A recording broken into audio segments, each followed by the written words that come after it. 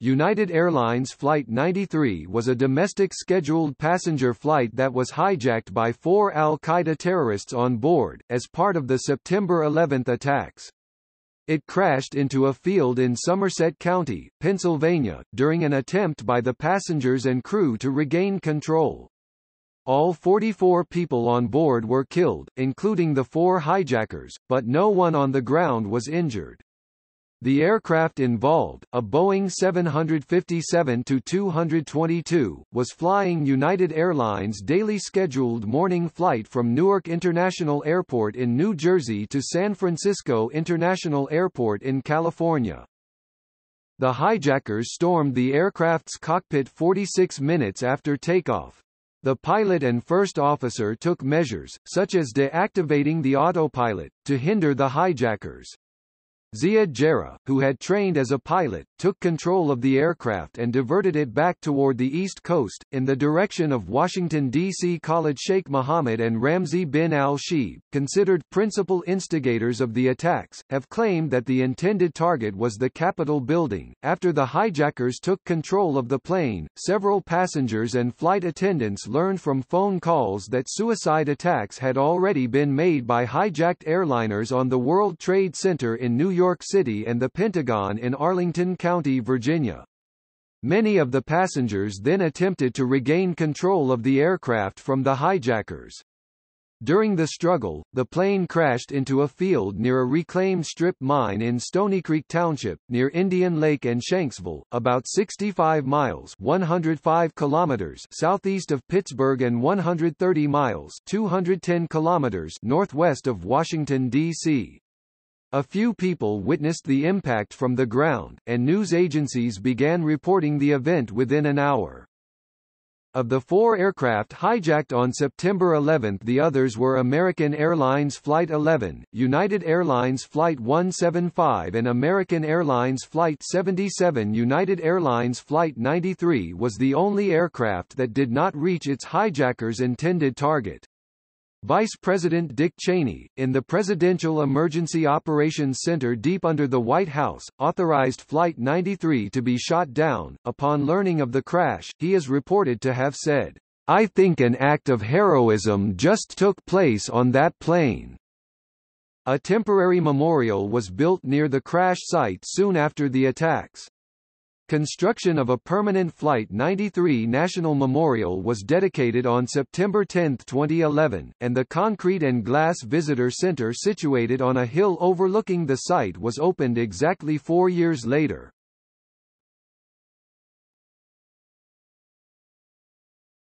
Topic. Hijackers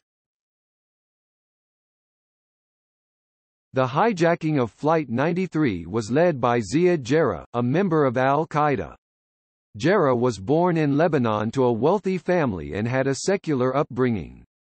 He intended to become a pilot and moved to Germany in 1996, enrolling at the University of Greifswald to study German. A year later, he moved to Hamburg and began studying aeronautical engineering at the Hamburg University of Applied Sciences. In Hamburg, Jarrah became a devout Muslim and associated with the radical Hamburg cell. In November 1999, Jarrah left Hamburg for Afghanistan, where he spent three months.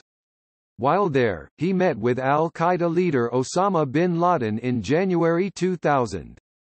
Jarrah returned to Hamburg at the end of January and in February obtained a new passport containing no stamped records of his travels by reporting his passport as stolen. In May, Jarrah received a visa from the U.S. Embassy in Berlin, arriving in Florida in June 2000.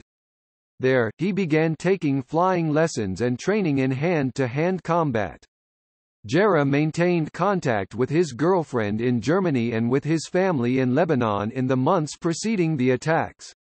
This close contact upset Mohamed Atta, the tactical leader of the plot, and al-Qaeda planners may have considered another operative, Zacarias Moussaoui, to replace him if he had backed out, for muscle. Hijackers were trained to storm the cockpit and overpower the crew, and three accompanied Jarrah on Flight 93. The first, Ahmed Al-Nami, arrived in Miami, Florida, on May 28, 2001, on a six-month tourist visa with United Airlines Flight 175 hijackers Hamza Al-Ghamdi and Mohand Al-Shehri. The second Flight 93 hijacker, Ahmed Al-Haznawi, arrived in Miami on June 8 with Flight 11 hijacker Wail Al-Shehri. The third Flight 93 Muscle hijacker, Saeed Al-Ghamdi, arrived in Orlando, Florida, on June 27 with Flight 175 hijacker Fayez Banihammad. On August 3, 2001, an intended fifth hijacker, Muhammad Al-Qahtani, flew into Orlando from Dubai. He was questioned by officials, who were dubious that he could support himself with only $2,800 cash to his name, and suspicious that he intended to become an illegal immigrant as he was using a one-way ticket. He was sent back to Dubai, and subsequently returned to Saudi Arabia. Ziad Jarrah and Saeed al-Ghamdi's passports were recovered from the Flight 93 crash site. Jarrah's family said that he had been an innocent passenger on board the flight.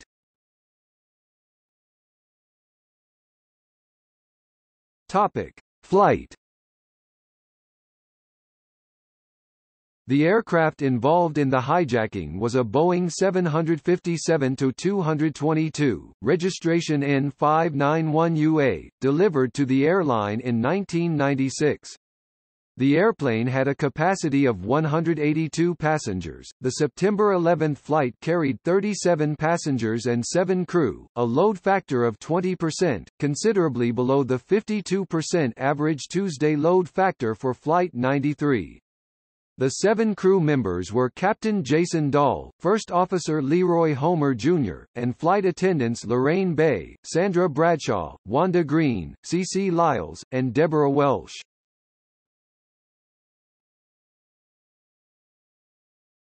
Topic: Boarding. The four hijackers checked in for the flight between 7.03 and 7.39 Eastern Time. At 7.03, Ghamdi checked in without any luggage while Nami checked in two bags. At 7.24, Haznawi checked in one bag and at 7.39, Jarrah checked in without any luggage. Haznawi was the only hijacker selected for extra scrutiny by the Computer-Assisted Passenger Prescreening System CAPPS. His checked bag underwent extra screening for explosives, with no extra scrutiny required by CAPPS at the passenger security checkpoint. None of the security checkpoint personnel reported anything unusual about the hijackers. Haznawi and Ghamdi boarded the aircraft at 7:39 and sat in first-class seats 6B and 3D respectively. Nami boarded 1 minute later and sat in first-class seat 3C. Ziad Jarrah called his girlfriend, Isel Sengen, from a public telephone at the airport, repeating the words I love you over and over. He boarded at 7.48 and sat in seat 1B. The aircraft was scheduled to depart at 8 o'clock and pushed back from gate A17 at 8.01. It remained delayed on the ground until 8.42 because of heavy airport congestion. The three other hijacked flights all departed within 15 minutes of their scheduled times. By the time Flight 93 became airborne, Flight 11 was four minutes away from hitting the North Tower and Flight 175 was being hijacked. Flight 77 was climbing normally and was nine minutes away from being hijacked. By 9.02, one minute before Flight 175 hit the South Tower, Flight 93 reached its cruising altitude of 35,000 feet 11,000 meters. With the attacks unfolding, air traffic officials began issuing warnings through the Aircraft Communication Addressing and Reporting System ACARS. Ed Ballinger, the United flight dispatcher, began sending text cockpit warnings to United Airlines flights at 9.19, 17 minutes after he became aware of Flight 175's impact.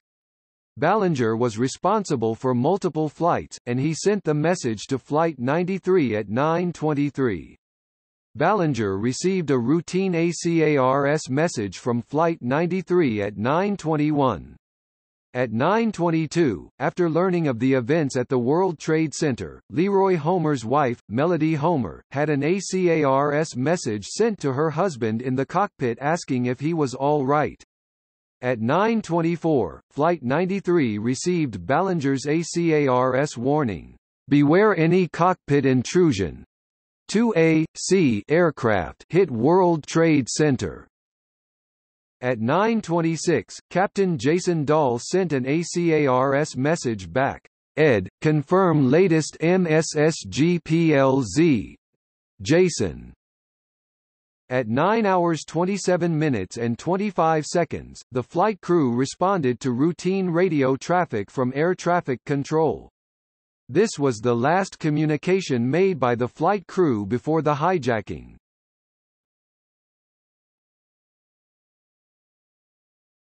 Topic: Hijacking. The hijacking on Flight 93 began at 9:28. By this time, Flights 11 and 175 had already crashed into the World Trade Center and Flight 77 was within nine minutes of striking the Pentagon. The hijackers on those flights had waited no more than 30 minutes to commandeer the aircraft, most likely striking after the seat belt sign had been turned off and cabin service had begun. It is unknown why the hijackers on Flight 93 waited 46 minutes to begin their assault.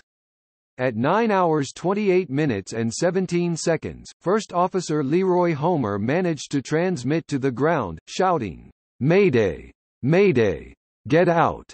over the radio amid sounds of violence. A Cleveland air traffic controller replied, Somebody call Cleveland, but received no reply. 35 seconds after the first Mayday call, the crew made another transmission. Homer shouted, Mayday! Mayday! Get out of here! Mayday! Get out of here! The flight dropped 685 feet 209 meters in half a minute before the hijackers managed to stabilize the aircraft. The exact time at which Flight 93 came under the hijackers' control cannot be determined. Officials believe that at 9.28, the hijackers assaulted the cockpit and moved the passengers to the rear of the plane at the same time to minimize any chance of either the crew or the passengers interfering with the attack. The other hijacked flights were taken by five-man teams, but Flight 93 had only four hijackers, leading to speculation of a possible 20th hijacker. The 9-11 Commission believed that Muhammad al-Qahtani was the likely candidate for this role, but was unable to participate as he had been denied entry into the United States one month earlier. With many passengers saying in phone calls that they saw only three hijackers, the 9-11 Commission believed Jarrah remained seated until the crew were overpowered and passengers were moved to the back of the aircraft and then took over the flight controls out of sight of the passengers. The flight recordings revealed that Captain Jason Dahl and First Officer Leroy Homer survived the initial attack and were still alive after the hijackers took over the plane. Dahl and Homer took actions to interfere with the hijackers, including disengaging the autopilot just before the hijackers took over in order to prevent them from aiming the plane at Washington, D.C., and switching the output of the pilot's microphones from the cabin address speakers to the radio transmitter so that Jarrah's attempts to communicate with the passengers would instead be heard by air traffic controllers. Dahl stayed in the cockpit alone with the hijacker pilot, injured but not dead. While Homer was knocked unconscious and dragged from the cockpit. The flight transcript suggests that at least two hijackers were in the cockpit. Ziad Jarrah was identified as the pilot and is heard calling another hijacker, Saeed, indicating that Saeed al-Ghamdi, who also trained in flight simulators, was helping Jarrah with the controls. The cockpit voice recorder began recording the final 30 minutes of Flight 93 at 9 hours 31 minutes and 57 seconds. At this moment, it recorded Jarrah announcing, Ladies and gentlemen, hear the captain. Please sit down, keep remaining seating. We have a bomb on board. So sit. The controller understood the transmission, but responded, Calling Cleveland Center, you're unreadable. Say again, slowly. The cockpit recording captured Dahl moaning and Jarrah telling him in English to sit down and to stop touching something presumably the controls. Jason Dahl's wife, Sandy Dahl, listening to the cockpit voice recorder, commented that Jarrah was fussing at my husband. He was speaking in English, and he spoke Arabic anytime he was talking with the other hijackers. Jason made moaning sounds after that. It sounded like he was trying to mess with stuff or get up, because the hijacker pilot kept telling him to stop and to sit down. A woman, presumably first-class flight attendant Debbie Welsh, is heard being held captive in the background and is heard struggling with the hijackers and pleading, Please, please, don't hurt me. Quote dot. Unable to engage the autopilot, Jarrah turned the plane and headed east at 9 hours 35 minutes and 9 seconds. The aircraft ascended to 40,700 feet 12,400 meters and air traffic controllers immediately moved several aircraft out of Flight 93's flight path. The woman in the cockpit is heard to say, I don't want to die, I don't want to die before being killed or otherwise silenced, followed by one of the hijackers saying in Arabic, Everything is fine. I finished. At 9.39, two minutes after Flight 77 impacted the Pentagon, air traffic controllers overheard Jarrah say, Ah, here's the captain, I would like you all to remain seated. We have a bomb aboard, and we are going back to the airport, and we have our demands. So please remain quiet. Air traffic controllers did not hear from the flight again. Passengers and crew began making phone calls to officials and family members starting at 9.30 using GTE airphones and mobile phones. Altogether, the passengers and crew made 35 airphone calls and two cell phone calls from the flight. Ten passengers and two crew members were able to connect, providing information to family, friends, and others on the ground. Tom Burnett made several phone calls to his wife beginning at 9 hours 30 minutes and 32 seconds from rows 24 and 25, though he was assigned a seat in row 4. Burnett explained that the plane had been hijacked by men claiming to have a bomb. He also said that a passenger had been stabbed with a knife and that he believed the bomb threat was a ruse to control the passengers. During one of Tom Burnett's calls, his wife informed him of the attacks on the World Trade Center and he replied that the hijackers were talking about crashing this plane. Oh my God. It's a suicide mission. Quote, he began asking her for information about the attacks, interrupting her from time to time to tell the others nearby what she was saying. Then he hung up. He ended his last call by saying, Don't worry, we're going to do something. An unknown flight attendant attempted to contact the United Airlines maintenance facility at 9 hours 32 minutes and 29 seconds. The call lasted 9.5 seconds, but was not received as it may have been in queue. Flight attendant Sandra Bradshaw called the maintenance facility at 9 hours 35 minutes and 40 seconds from row 33. She reported the flight had been hijacked by men with knives who were in the cabin and flight deck and had stabbed another flight attendant, possibly Debbie Welsh. Mark Bingham called his mother at 9 hours 37 minutes and 3 seconds from row 25. He reported that the plane had been hijacked by three men who claimed to have a bomb. Jeremy Glick called his wife at 9 hours 37 minutes and 41 seconds from row 27 and told her the flight was hijacked by three dark-skinned men who looked Iranian, wearing red bandanas and wielding knives. Glick remained connected until the end of the flight. He reported that the passengers voted whether to rush the hijackers. The United Air Traffic Control Coordinator for West Coast flights, Alessandro Sandy Rogers, alerted the Federal Aviation Administration FAA Herndon Command Center in Herndon, Virginia, that Flight 93 was not responding and was off course. A minute later, the transponder was turned off, but the Cleveland controller continued to monitor the flight on primary radar. The Herndon Center relayed information on Flight 93 to FAA headquarters. Joseph DeLuca called his father at 9 hours 43 minutes and 3 seconds from row 26 to inform him the flight had been hijacked. Todd Beamer attempted to call his wife from row 32 at 9 hours 43 minutes and 48 seconds, but was routed to GTE phone operator Lisa D. Jefferson. Beamer told the operator that the flight was hijacked and that two people who he thought were the pilots were on the floor dead or dying. He said one of the hijackers had a red belt with what looked to be a bomb strapped to his waist. When the hijackers veered the plane sharply south, Beamer briefly panicked, exclaiming, We're going down! We're going down! Dahl continued to struggle in the cockpit, refusing to allow a hijacker to engage the autopilot for their target, Washington, D.C. The hijackers were heard to say, Inform them, and tell him to talk to the pilot, bring the pilot back. Possibly referring to Homer CVR transcripts.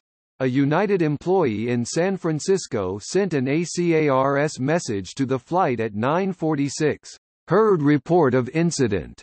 PLZ confirm all is normal. Linda Gronlund called her sister, Elsa Strong, at 9 hours 46 minutes and 5 seconds and left her a message saying there were men with a bomb. Flight attendant CC Lyles called her husband at 9 hours 47 minutes and 57 seconds and left him a message saying the plane had been hijacked. Marion Britton called her friend, Fred Fumano, at 9 hours 49 minutes and 12 seconds. Fumano recalled, She said, we're gonna. They're gonna kill us, you know, we're gonna die, and I told her, don't worry, they hijacked the plane, they're gonna take you for a ride, you go to their country, and you come back. You stay there for vacation, you don't know what to say. What are you gonna say? I kept on saying the same things, be calm, and she was crying and, screaming and yelling. Flight attendant Sandra Bradshaw called her husband at 9 hours 50 minutes and 4 seconds and told him she was heating water to throw at the hijackers. Passenger Lauren Grandcolas called her husband twice, once before takeoff and once during the hijacking. He missed both of her calls. She then passed her phone to Honor Elizabeth Wainio. Wainio called her stepmother at 9 hours 53 minutes and 43 seconds and concluded, four and a half minutes later, by saying, I have to go. They're breaking into the cockpit. I love you. Jarrah dialed in the VHF omnidirectional range VOR frequency for the VOR navigational aid at Reagan National Airport at 9 hours 55 minutes and 11 seconds to direct the plane toward Washington, D.C. Bradshaw, on the phone with her husband, said, Everyone is running up to first class. I've got to go. Bye. Beamer told Jefferson that the group was planning to jump on the hijackers and fly the plane into the ground before the hijackers' plan could be followed through. Beamer recited the Lord's Prayer and the 23rd Psalm with Jefferson, prompting others to join in. Beamer requested of Jefferson, If I don't make it, please call my family and let them know how much I love them. After this, Jefferson heard muffled voices and Beamer answering, Are you ready? Okay. Let's roll. These were Beamer's last words to Jefferson. During the hijacking, Flight 93 passed within 1,000 feet 300 meters instead of the normal 2,000 feet 610 meters of a NASA KC-135 returning from a microgravity flight over Lake Ontario. NASA pilot Dominic Del Rosso recalled how odd the silence on the radio was that morning.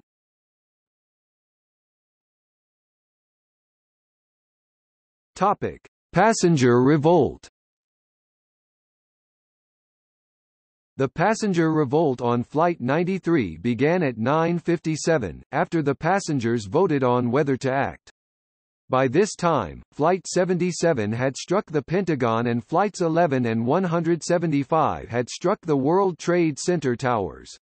As the revolt began and the hijackers started maneuvering the plane violently, the plane left its Washington, D.C. course. The hijackers in the cockpit became aware of the revolt at 9 hours 57 minutes and 55 seconds, Jarrah exclaiming, Is there something? A fight?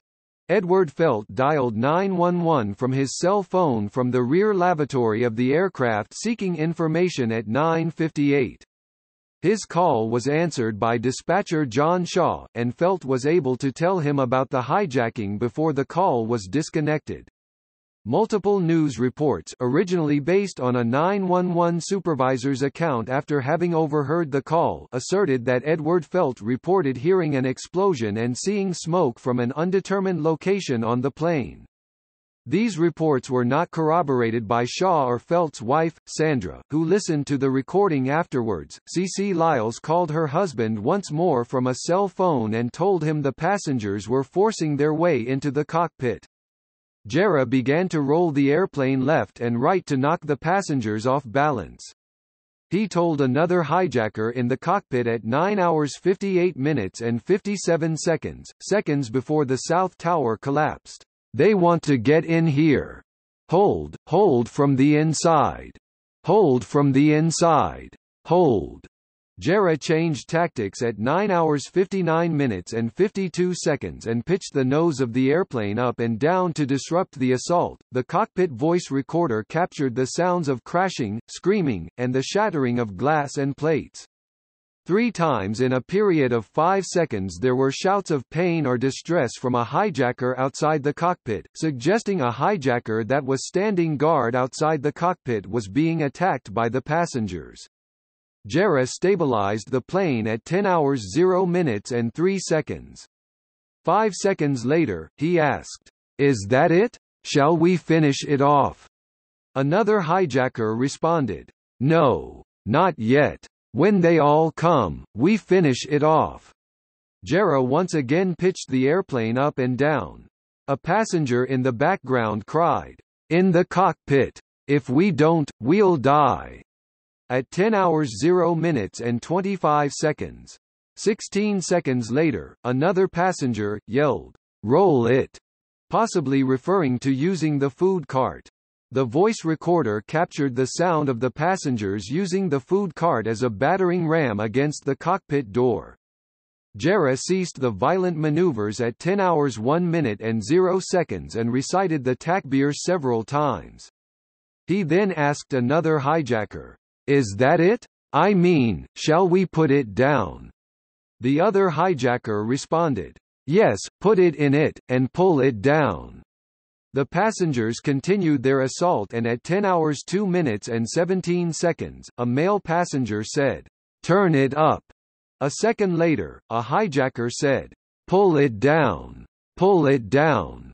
At 10 hours 2 minutes and 33 seconds, Jarrah was heard to plead, Hey, hey, and then, give it to me, repeated eight times in succession, possibly referring to the plane's yoke. The airplane plummeted into a nosedive with the yoke turned hard to the right. The airplane rolled upside down, and one of the hijackers began shouting the takbir. Among the continued sounds of the passenger counterattack, the aircraft picked up speed, whooshing and shrieking were picked up on the recorder, and the hijackers inside the cockpit are heard yelling, no, over the sound of breaking glass. The final spoken words on the recorder were a calm voice in English instructing, pull it up. The plane then crashed into an empty field in Stony Creek, Pennsylvania, about 20 minutes flying time from Washington, D.C. The last entry on the voice recorder was made at 10 hours 3 minutes and 9 seconds. The last piece of flight data was recorded at 10 hours 3 minutes and 10 seconds. There is controversy between some family members of the passengers and the investigative officials as to whether the passengers managed to breach the cockpit. The 9-11 Commission report concluded that The hijackers remained at the controls but must have judged that the passengers were only seconds from overcoming them. Many of the passengers' family members, having heard the audio recordings, believe that the passengers breached the cockpit and killed at least one of the hijackers guarding the cockpit door. Some interpreted the audio as suggesting that the passengers and hijackers struggled for control of the yoke. Vice President Dick Cheney, in the Presidential Emergency Operations Center deep under the White House, authorized Flight 93 to be shot down, but upon learning of the crash, is reported to have said, I think an act of heroism just took place on that plane.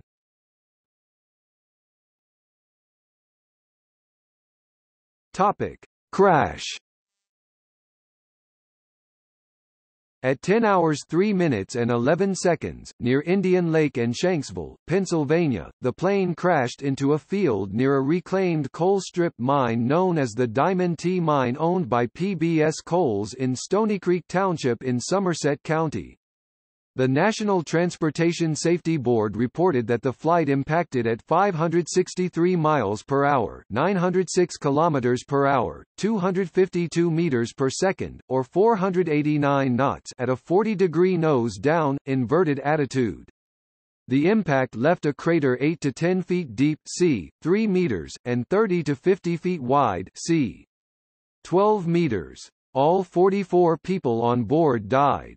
Many media reports and eyewitness accounts said the time of the crash was 10:06 or 10:10. An initial analysis of seismographic data in the area concluded that the crash occurred at 10:06, but the 9/11 Commission report states that this analysis was not definitive and was retracted. Other media outlets and the 9-11 Commission reported the time of impact as 10.03, based on when the flight recorders stopped, analysis of radar data, infrared satellite data, and air traffic control transmissions. Kelly Leverknight, a local resident, was watching news of the attacks when she heard the plane. I heard the plane going over and I went out the front door and I saw the plane going down. It was headed toward the school, which panicked me, because all three of my kids were there. Then you heard the explosion and felt the blast and saw the fire and smoke. Another witness, Eric Peterson, looked up when he heard the plane. It was low enough, I thought you could probably count the rivets. You could see more of the roof of the plane than you could the belly. It was on its side. There was a great explosion and you could see the flames. It was a massive, massive explosion. Flames and then smoke and then a massive, massive mushroom cloud. Val McClatchy had been watching footage of the attacks when she heard the plane. She saw it briefly, then heard the impact. The crash knocked out the electricity and phones. McClatchy grabbed her camera and took the only known picture of the smoke cloud from the explosion. In September 2011, shortly before the 10th anniversary of the attacks, a video of the rising smoke cloud filmed by Dave Berkebile who had died by 2011 from his yard two and a half miles away from the crash site was published on YouTube. The first responders arrived at the crash site after 10.06. Cleveland Center controllers, unaware the flight had crashed, notified the Northeast Air Defense Sector (NEADS) at 10:07 that Flight 93 had a bomb on board and passed the last known position. This call was the first time the military was notified about the flight. Ballinger sent one final ACARS message to Flight 93 at 10:10. Don't divert to DC. Not an option. He repeated the message one minute later. The Herndon Command Center alerted FAA headquarters that Flight 93 had crashed at 1013.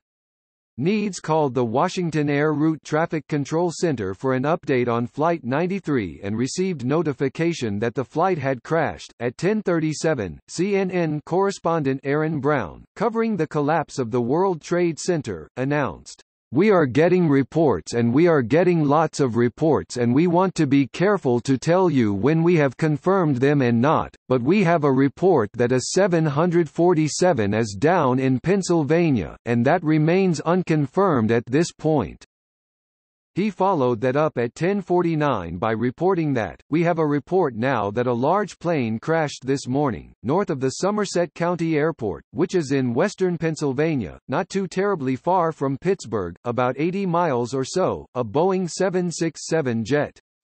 Don't know whose airline it was, whose airplane it was, and we don't have any details beyond that which I have just given you." Quote. In the confusion, he also erroneously reported a second hijacked plane heading for the Pentagon after the crash of the first.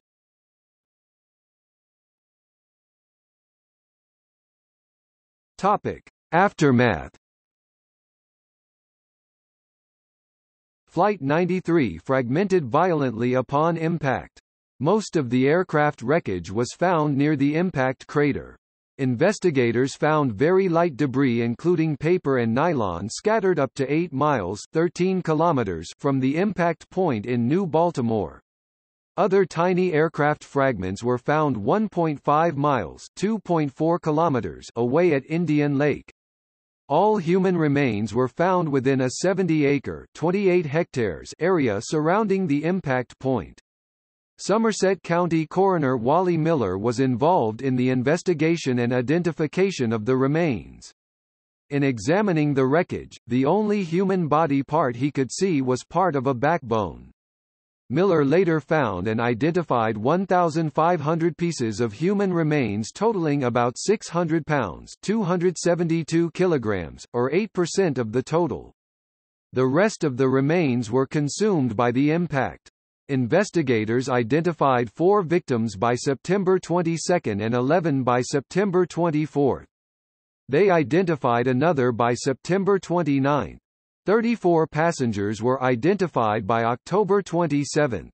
All the people on board the flight were identified by December 21.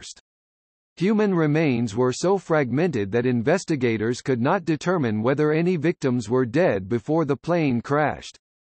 Death certificates for the 40 victims listed the cause of death as homicide and listed the cause of death for the four hijackers as suicide.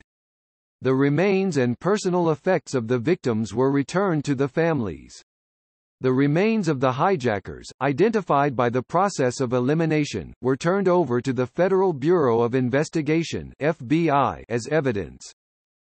Investigators also found a knife concealed in a cigarette lighter, they located the flight data recorder on September 13 and the cockpit voice recorder the following day. The voice recorder was found buried 25 feet 8 meters below the crater. The FBI initially refused to release the voice recording, rejecting requests by Congresswoman Ellen Tauscher and family members of those on board. They later allowed the relatives of the Flight 93 victims to listen to the recording in a closed session on April 18, 2002.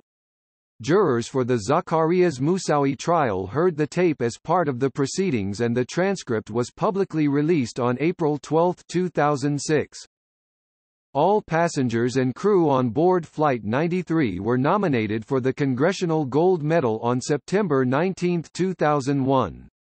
Congressman Bill Shuster introduced a bill to this effect in 2006, and they were granted on September 11, 2014. Beamer's final words, "Let's roll," became a national catchphrase. The Port Authority of New York and New Jersey changed the name of Newark's airport from Newark International Airport to Newark Liberty International Airport and a flag now flies over Terminal A's Gate A-17.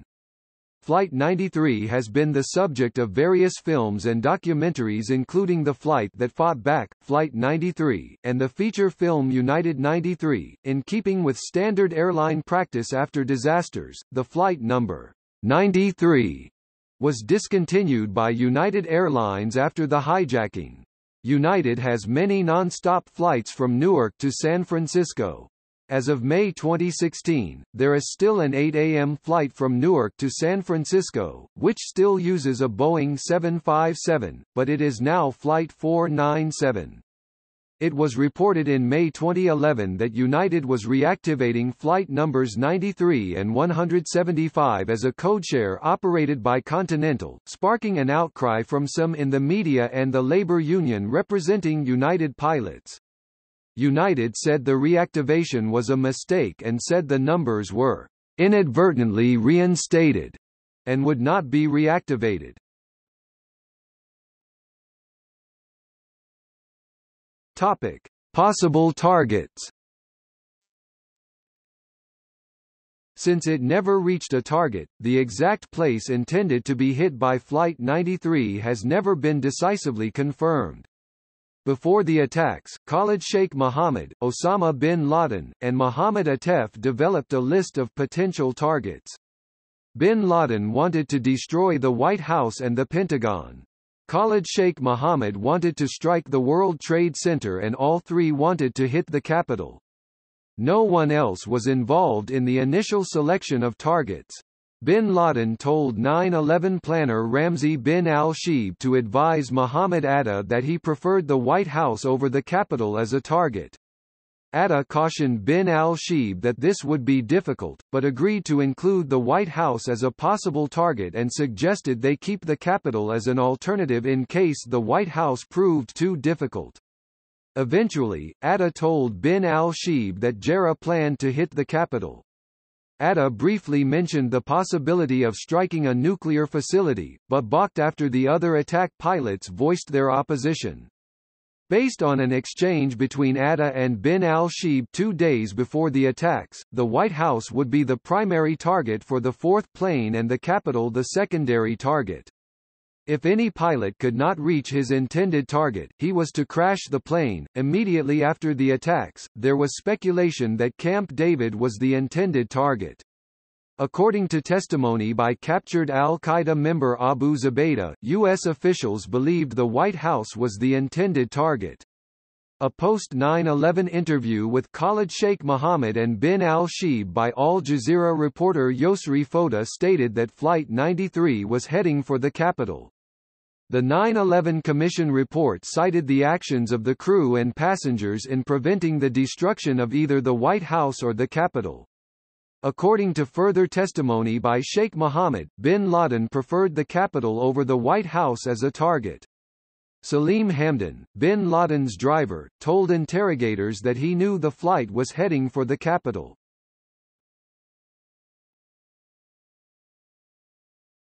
Topic. Fighter jet response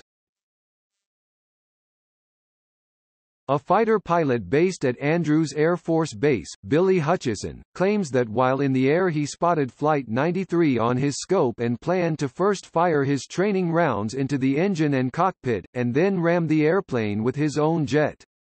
His account was published in Lynn Spencer's book Touching History.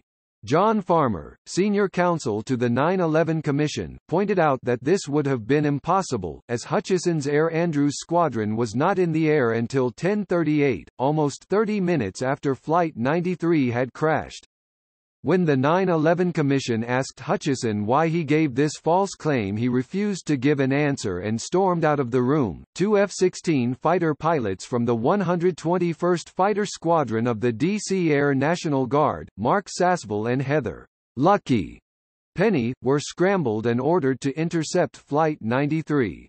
The pilots intended to ram it since they did not have time to arm the jets, this was in the days before armed jets stood ready to take off at a moment's notice to protect the capital's airspace. They never reached Flight 93 and did not learn of its crash until hours afterwards. The North American Aerospace Defense Command (NORAD) stated to the 9/11 Commission that fighters would have intercepted Flight 93 before it reached its target in Washington D.C., but the commission disagreed, stating that NORAD did not even know the plane was hijacked until after it had crashed and concluding that had it not crashed it probably would have arrived in Washington by 1023. The 9-11 Commission report stated that NEADS fighters pursued Delta Air Lines Flight 1989, a flight thought to be hijacked. The Commission found that NORAD and the FAA gave inaccurate testimony.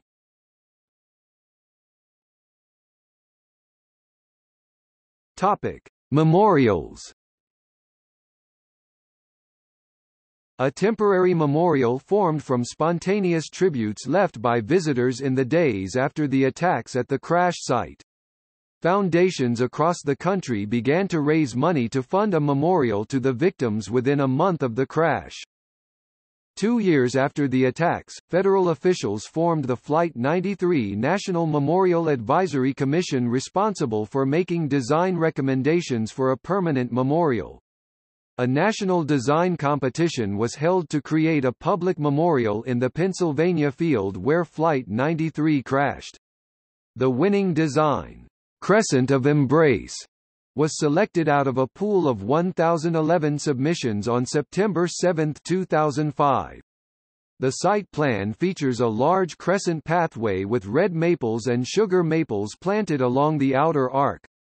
This design ran into opposition over funding, size, and appearance.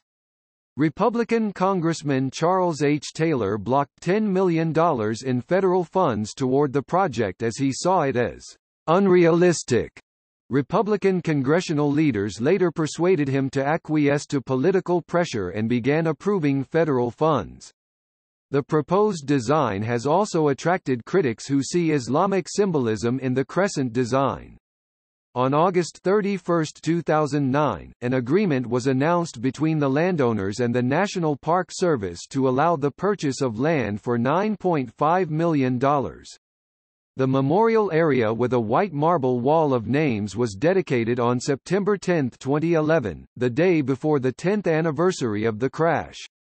A concrete and glass visitor center was opened on September 10, 2015 on a hill overlooking the memorial, with both the visitor center and the wall of names being aligned with the flight path and the final piece, the Tower of Voices, was dedicated during a ceremony on September 9, 2018. CeCe Lyles was one of the flight attendants on board. In 2003, a statue of Lyles was unveiled in her hometown of Fort Pierce, Florida, which has since gained national recognition as one of the many monuments to the attacks. On August 9, 2007, a portion of US 219 in Somerset County, near the Flight 93 National Memorial, was co-signed as the Flight 93 Memorial Highway. At the National September 11 Memorial, the names of the 40 victims of Flight 93 are inscribed on panels S67 and S68 at the South Pool. On September 11, 2017, the 16th anniversary of the crash, Vice President Mike Pence spoke at the memorial, to a gathering of relatives and friends of the victims. Pence, a member of Congress on the date of the crash, stated that the victims may have saved his life. Learning that the capital was a possible target of the hijacked plane and only 12 minutes away by air, he said, it was the longest 12 minutes of my life. Without regard to personal safety, they the victims rushed forward to save lives.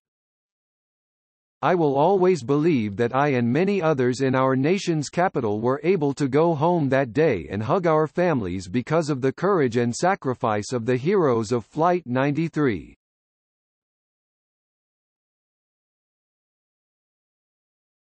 Topic: Nationalities of the passengers.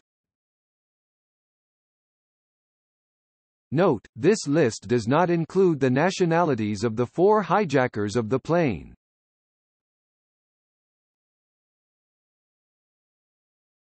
Topic. See also